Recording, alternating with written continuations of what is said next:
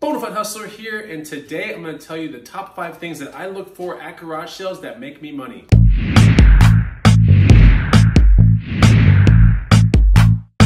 What's going on, guys and gals? Chris, the Bonafide Hustler, coming to you live from the inside of my kitchen, well, my dining room. And uh, yeah, in this video, I'm going to discuss the five items that I look for on every garage sale run, every single Saturday morning. I look for these five items because they're insanely profitable and uh, something that you guys and gals should be looking for as well. Don't forget to follow me on Instagram at the Bonafide Hustler. You can also find the free money making guide that'll teach you 50 items in general that you should be looking for at garage sales and thrift stores that will make you money. Go pick up that guide. It's the first link down below. Okay, so an overview of who I am. If you are just finding this channel right now, I have been reselling for over two decades now, okay? I was gonna say 22 years, but over two decades. Let's just say that. And I predominantly find myself at garage sales, thrift stores, those two places, although I have in the past done swap meets, big box stores, flea markets, pawn shops, yeah, those kind of things as well. But predominantly here in Austin, Texas now, my business comprises of sourcing from thrift stores, garage sales, um, Facebook Marketplace, and local avenues like that. Now this video is strictly about the things that I look for when I go to garage sales, right? Every Saturday morning, it seems like now for over two decades, I've been going to garage sales as long as I'm not on vacation. Even on vacation, I still sometimes go on Saturdays. But garage sales are a terrific place to find insane deals on items that you can put on eBay or Craigslist or Facebook Marketplace or wherever you want. But yeah, you can usually find really good underpriced items at garage sales. And I like garage sales over thrift stores even more because a lot of times research hasn't been done. And so you can get some really crazy deals. And if you have good negotiation tactics, you can get crazy deals even crazier than that. Does that make sense? You can get a great deal and you can even be like, will you take this? And oftentimes the person does.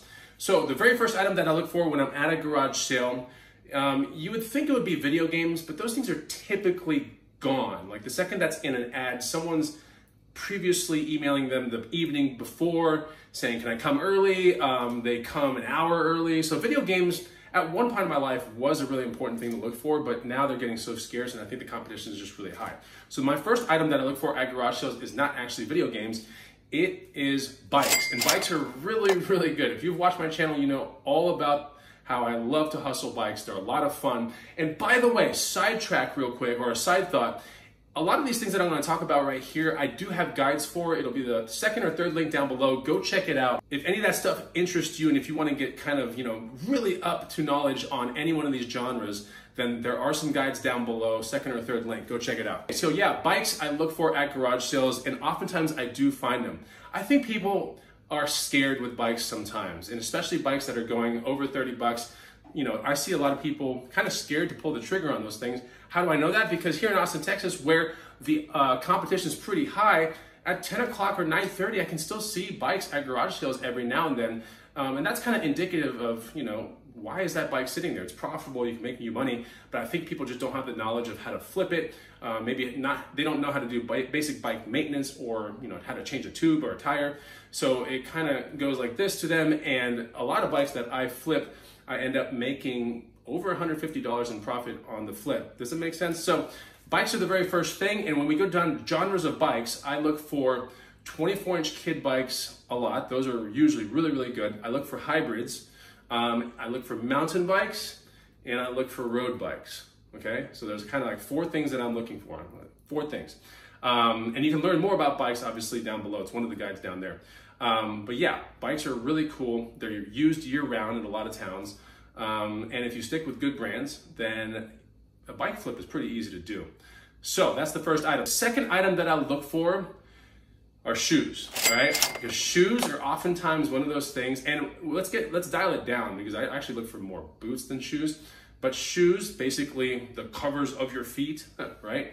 Um, I look for those at garage sales all the time because they're oftentimes like one to five bucks. I, I mean, it's just so cheap, and if you know eBay, and if you know your local markets, and if you know you know places that you can put them, like I have an antique booth as well um, I can put boots there all the time, right? I can put logger looking boots. I can put cowboy boots. I can put, you know, hipster style, you know, engineer type boots. I can put all kinds of stuff in there. But, you know, I look for shoes all the time when I'm at garage sales because they're great. They uh, ship pretty compact.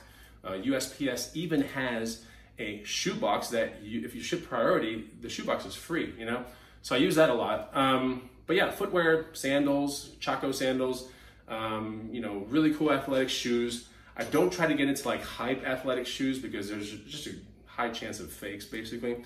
I look for hiking boots, I look for cowboy boots, um, I look for really high lace up Doc Martens, Demonia boots, those kind of things. So when I look for shoes, it's not just low cut shoes like you would think would be tennis shoes. It's all the stuff that's footwear. Um, I look for certain things. But yeah, the second thing at garage sales that I look for. It's super profitable. Third item that I look for at garage sales are actually bags. So no surprise, if you watch my channel, you know how I like to flip and resell bags. Now bags are cool because a lot of people don't have these crazy attachments to bags like they do electronics or video games or even sometimes bicycles, you know. Um, they just don't have the attachment to those things. I don't understand why, but anyway, bags, much like shoes, one to five bucks at garage sales. And you can find some killer, killer deals at garage sales for bags and thrift stores as well. Oftentimes a very severely underpriced item that can make you a lot of money. A lot of times on bags, I typically make north of 80 bucks on every bag flip. That's kind of like where I want to be, although I've gotten down as low as 50. But bags are cool. You know, poly mailers is a way that I get bags, you know, to and from places. Um, I've been known to roll bags and put them in the priority shoebox. Um, and when they're really big, kind of like frame hiking backpacks, for example, then I might use a box. But bags are not hard to ship off. Look for leather type, um, you know, shoulder bags with good brands. Look for duffel bags, really, really important, weekender type bags. Backpacks from really great brands. Um, you know, Topo Designs is one that comes to mind pretty quickly. Uh, Chrome, that's another good one. But yeah, bags are great, and uh, I've just been reselling bags now for quite a while. And uh, I think it's a really, really awesome thing to look for at garage sales when you're out there.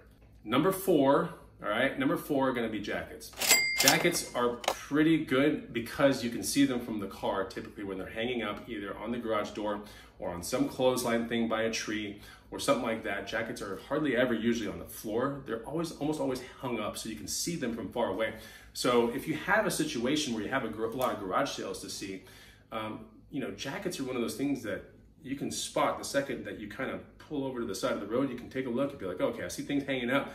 I see jackets. And the jackets that I look for, obviously I have a guide that just came out that is jacket related. But when it comes down to like what I really look for, it's going to be leather jackets. Leather, suede, really cool, old, retro, uh, you know, in your face kind of graphics, neons. Like I love those type of jackets. Obviously, there are tons of other jackets to resell. But when it comes to like line of sight, something that I'm looking for, I'm looking for things like wax cotton, wax canvas, suede, you know, all leather, goat skin, lambskin. I'm looking for all this stuff, Carhartt stuff, you know, CC Filson jackets.